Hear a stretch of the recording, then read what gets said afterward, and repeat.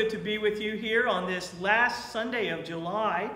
And on the last Sunday of the month, it is our tradition to wish a happy birthday to everyone. So I'm going to wish a happy birthday to Dora and Gay and Jeannie and Jim and Jay and Rob and Scott and Jim and Sandy and Dorothy and Dawn and Debbie and Mike.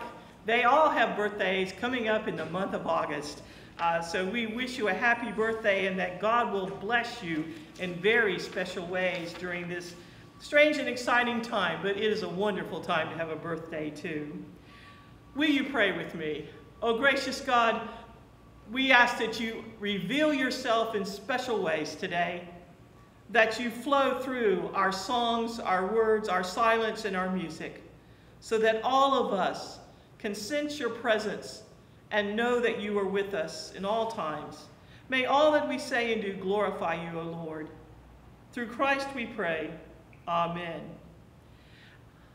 And may the peace of Christ fill your hearts and minds always. The peace of Christ to you, Cameron. The peace of Christ to you, Bart. Thank you so much. Let's continue our worship by singing hymn number 275, that great hymn of the Reformation. A mighty fortress is our God. And we'll sing the verses 1 and 2.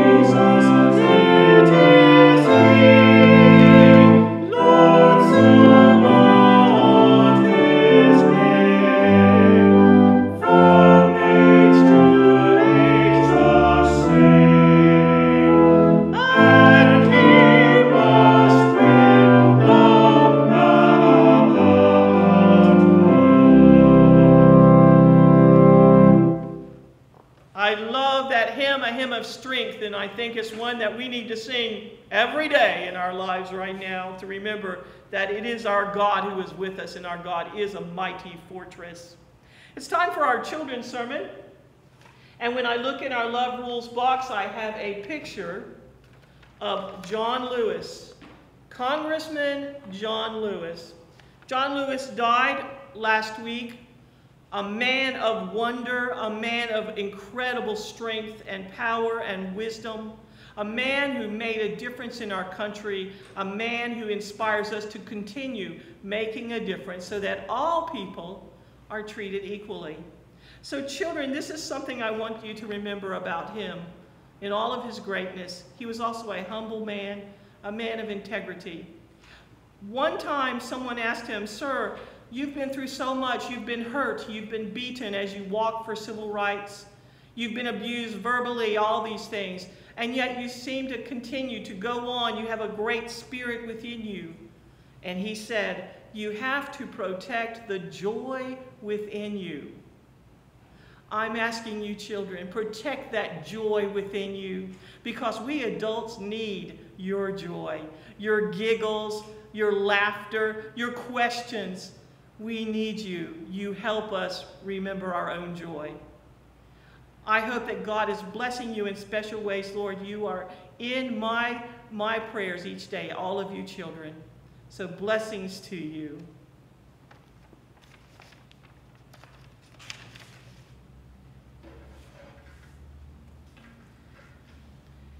Have you ever wondered how letters were delivered in biblical times? After all, the Bible has an entire section written to believers, of letters written to believers living in various regions. Military and other governmental information was delivered by special courier.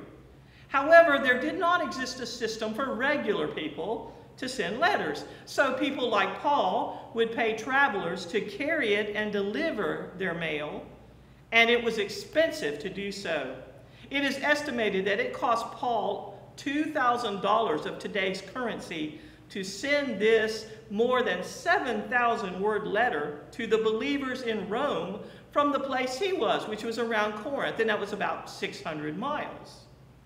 The average letter of that day was about 87 words. So you can imagine that these letters of the Bible would stand out as unusually long. Their content often contains some personal information, but are mostly instructive and a witness to Christ. The Christians in Rome, in Rome at the time of Paul's letter, which was written about 55 AD, were going through a time of adaptation and adjustment. You see, in AD 49, all the prominent Jewish Christian leaders and a lot of the members were expelled from Rome. They were allowed to come back to Rome five years later, bringing with them believers that were new to the area.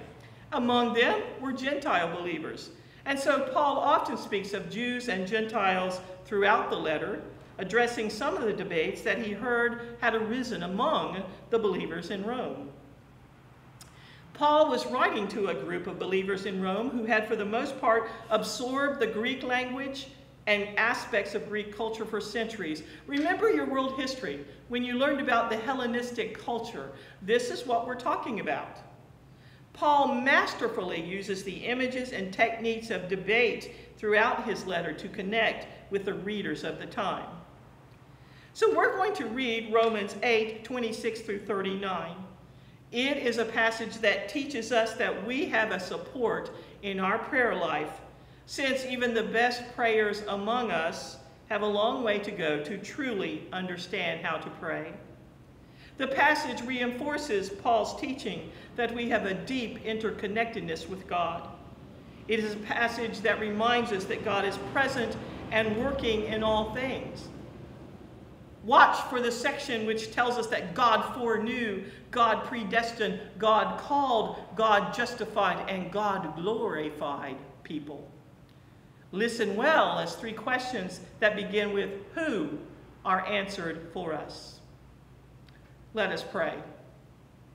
May the words of my mouth and the meditations of all of our hearts be acceptable to you, O Christ our Redeemer.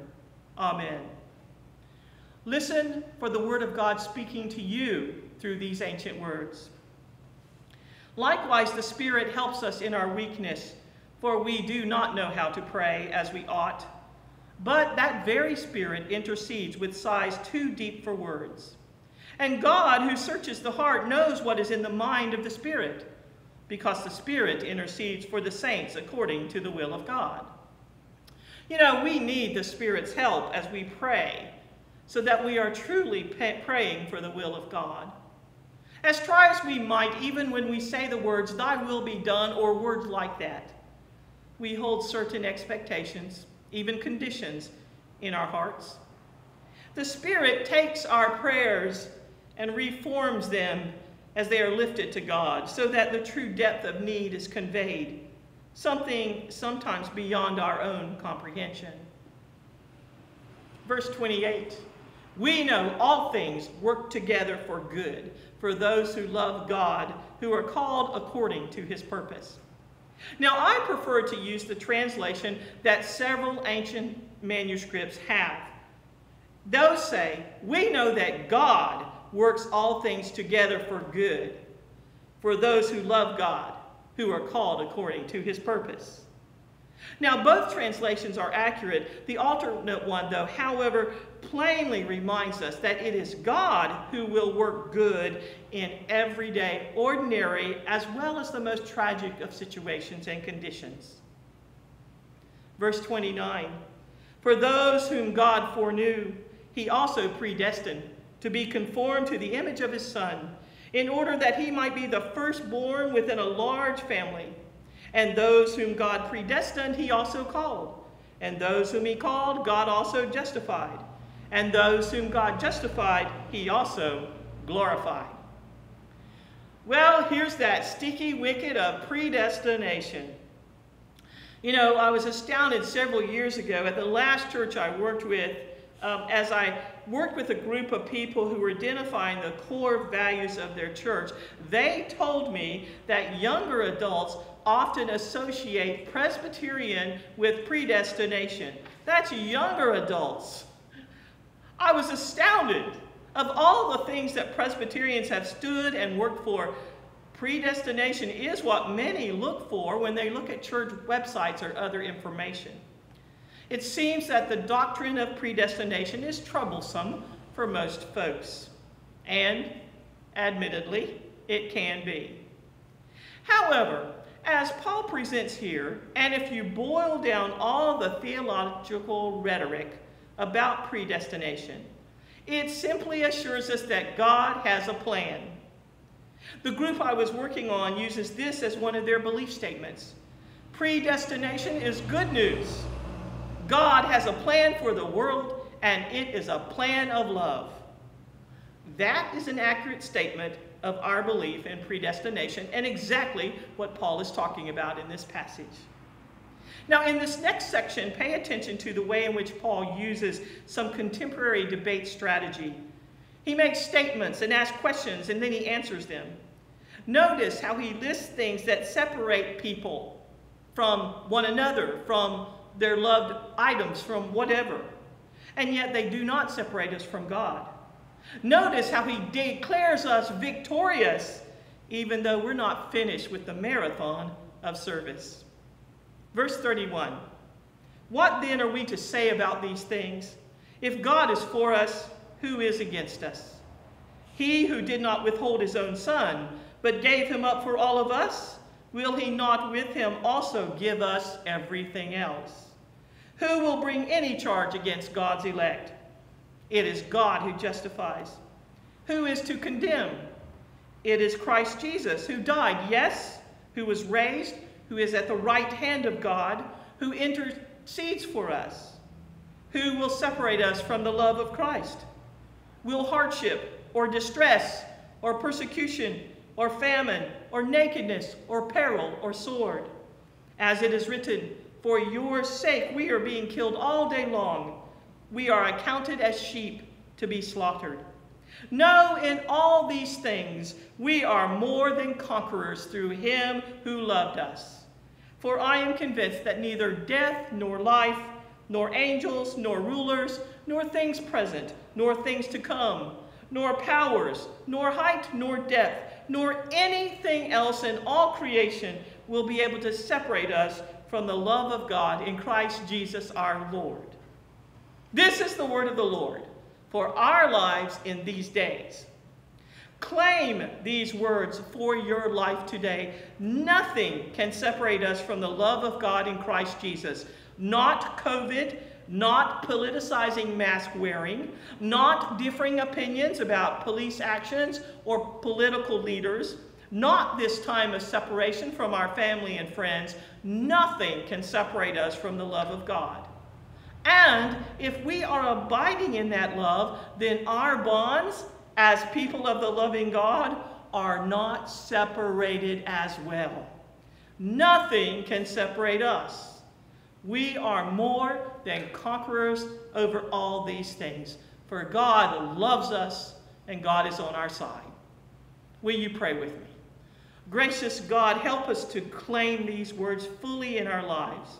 Help them to be words that empower us for the ordinary things each day brings to us and for the extraordinary things. Thank you, Lord, for these words of strength, of assurance, of knowing that we are with you and you are with us always.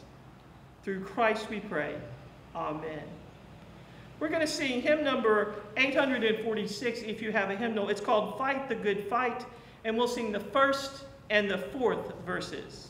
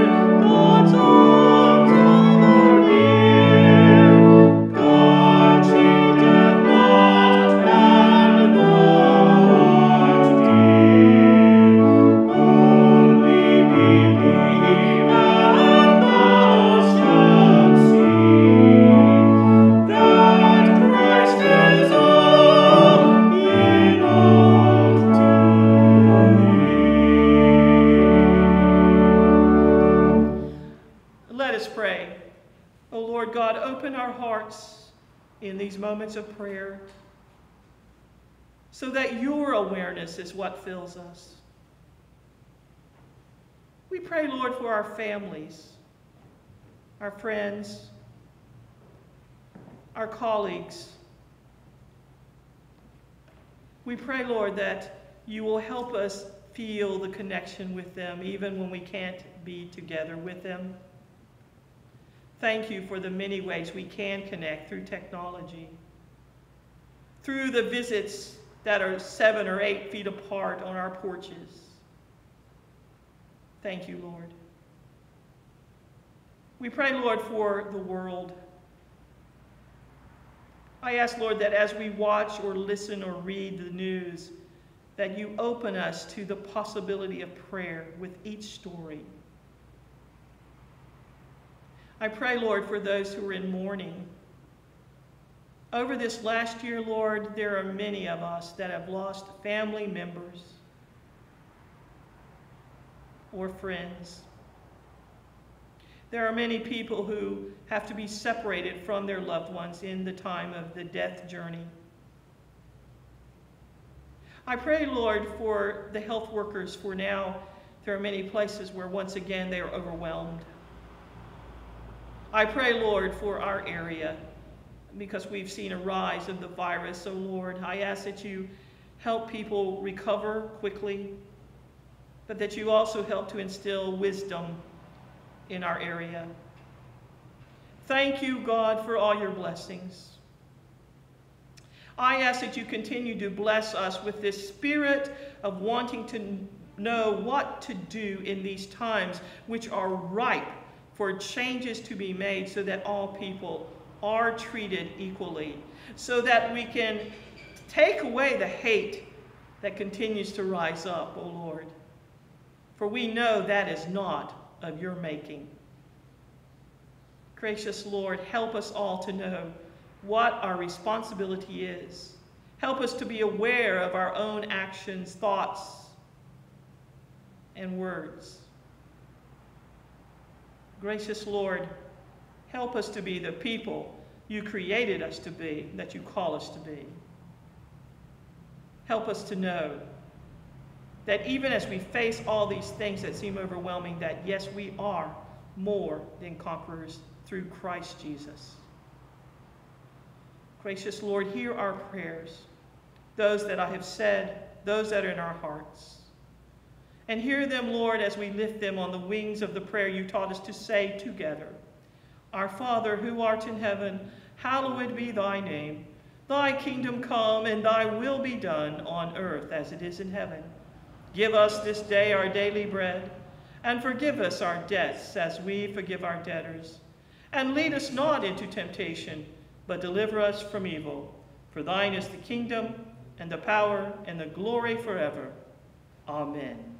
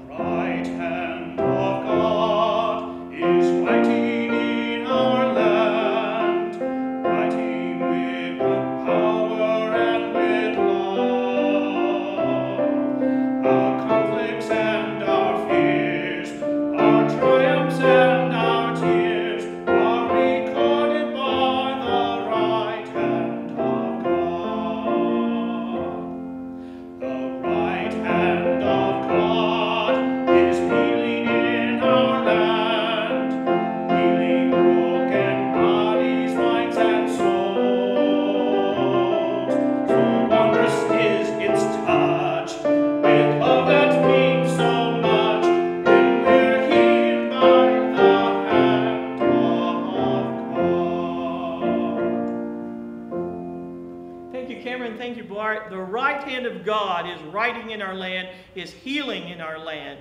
The right hand of God is Jesus Christ. May you know that power of Jesus Christ in your lives.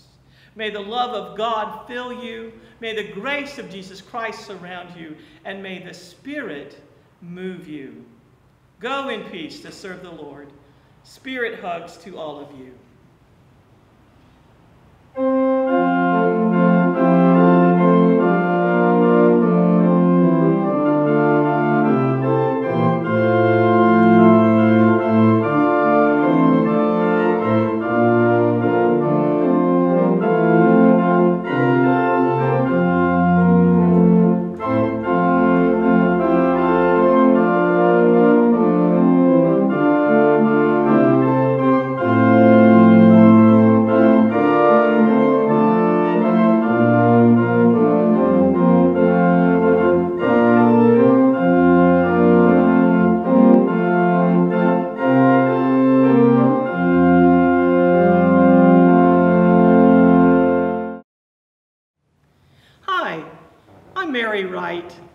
Pastor of First Presbyterian Church. I'm glad that you've chosen to be a part of our services during this time of separation. These are days which are challenging for us, for every one of us. If you need to talk with someone, please know that I am available. I'm in the church office Monday through Thursday from about 8.30 to 3.30. You can call us at 217-345-2335 Please, if there is not an answer, leave a message. I will get back to you as soon as I can. I hope you know that God loves you and that you feel the divine presence in your life. Perhaps when we are all able to get together again, if you have never come to this church, that you will come and meet the good folks here. Blessings to you.